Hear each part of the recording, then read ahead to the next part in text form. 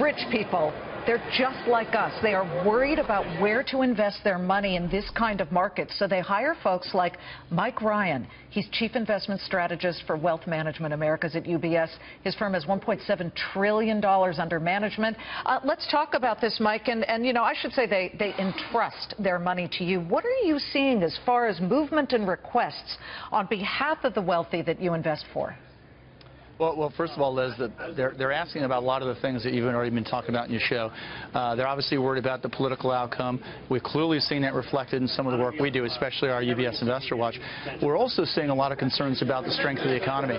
You know, we had a GDP report, which wasn't very encouraging about the last quarter.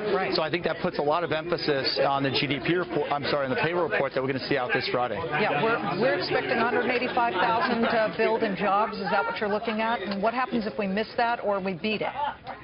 Well, we're looking for about 190 on our side. Okay. We're looking for the unemployment rate to actually tick down to 4.8%. I think what's really important is, is not just the number itself, but what happens in terms of any revisions to prior months. And remember, we came off two months. The May report was much weaker than expected, and the market really kind of took that and, and, sorted through that and actually sold off. Then we saw the June report that was much better. Not only was the report better, but the revisions, the backward revisions were also good. So the market is going to clearly look on which of those really was a trend report. Was it the May or the June? Our view is that actually the May report was an aberration. The June really reflects the strength in labor markets. Let's and what you'd likely see is a pretty solid number. Um, okay, so what are you seeing when it comes to specific sector investments? Because it's got to be equities, right? Interest rates are so unbelievably low, and wealthy people want yield, do they not? Or they want preservation too? Well, they do want both. I think what you are still see, seeing right now, though, is, is there is a scramble for return and an ongoing search for yield. So here's basically what we're telling our clients to, to focus on. First of all, we are still focused on equities. We think that's still the better place to be.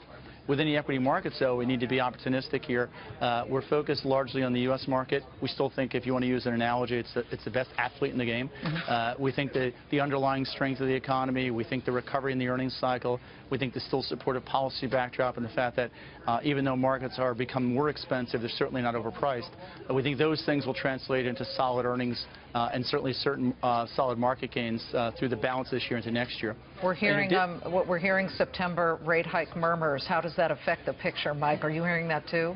Yeah, obviously that's kind of into the equation, but I think what's more likely from our standpoint is that the Fed's probably going to defer any rate activity until December.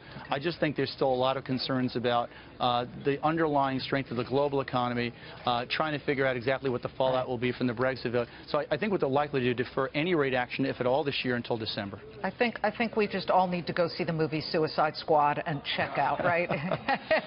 You're going to go, Mike? uh, that's that's making my list, but it's pretty far down the priority list, to be Listen, it's great to have you, Mike Ryan of UBS.